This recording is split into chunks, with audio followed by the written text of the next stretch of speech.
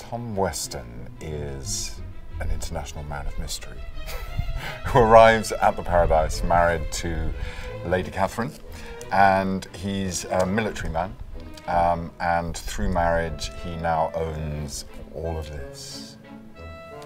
You can expect fireworks from Tom Weston. He's, um, he's a human chameleon and a survivor and he he wants to dominate any situation that he goes into. He's a, a narcissist as well, and all those things uh, sort of add up to um, this. Um, he's just a very intoxicating human being to play, and because he's an alpha male, and Moray is an alpha male, they clash and fun and drama ensues.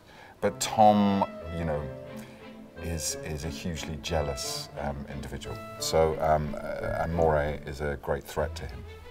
It's not a sound foundation for a marriage, and yet they are made for each other. It's, it's a very exciting relationship. She has, she, he has never met anyone um, like her, uh, and um, so, so she is constantly exciting to him and deeply frustrating to him at the same time.